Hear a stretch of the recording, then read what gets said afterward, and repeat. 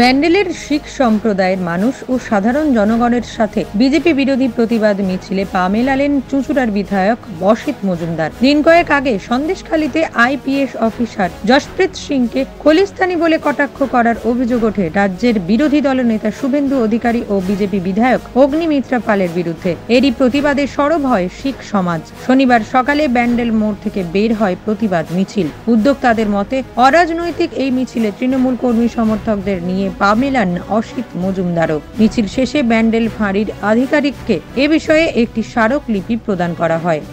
अग्निमिता पाल जी, उस IPS officer से जिस तरह से बहस कर रही थी मिनिमम पाँच मिनट तक उन्होंने व्यक्त किया। उन्होंने इस बात का एक बार भी इख्तियार नहीं किया कि अगर इस प्रकार की अगर हमने हमारे मुँह से गलती, किसी हमारे सदस्य ने बोला है, इसके लिए हम क्षमा चाहते हैं। आप हमारी संदेश काली में ड्यूटी में हम आपको क्यों खालिस्तानी बोलेंगे? इस बात को उन्होंने एक बार पर उन्होंने तक तक उनसे करते रहे कि आप अपनी ड्यूटी ठीक नहीं निभा रहे हैं। वो इस बात की कैसे मंजर से वो जबकि वो पिछले सात दिनों से वहाँ आईपीएस संदेश कल में ड्यूटी निभा रहे हैं, सुबह से लेकर शाम तक।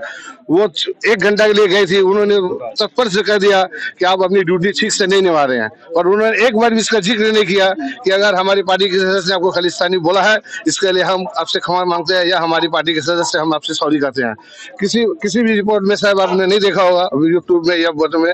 सिर्फ़ वो तक तक करती रही और उनसे एक ही बात कहती है वो कहते रहे, आपने हमें टबेल में हाथ लगाया, आप हमें खालिस्तानी संबोधित किया। है उनकी यही भाषा थी लास्ट तक वो यही बोलते रहे। पर किस पार्टी की तरफ़ से किसी ने भी संबोधित नहीं किया कि चलिए इस बात की घटना को पुष्टि करते हम लोग, इसको यहाँ समस्या जा रही है अगर इस तरह की वो पार्टी वहाँ बोल देते तो आज ये समस्या खड़ी नहीं होती। इसीलिए हम चाहते हैं वहाँ पर जो थे, जिन्होंने सुना है, आई विटनेस से, ये इस बात की पूरी पुष्टिकरण कर सकेंगे। हम तो यहाँ बैठे नहीं कर सकेंगे।